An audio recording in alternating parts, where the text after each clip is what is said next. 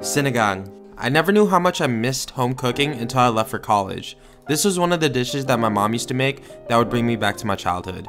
To get started, prep your vegetables. Here I have tomatoes, onions, bok choy, daikon, eggplant, taro, and long beans. Now cut pork ribs and pork belly into bite-sized pieces and blanch them for 20 minutes with bay leaves and black peppercorns. Drain and rinse the pork under cold water and simmer with onions, tomatoes, and water until the pork is super soft. While that's simmering, soften tamarind pulp with hot water and strain. Season the soup with the tamarind paste and fish sauce or patis in Tagalog.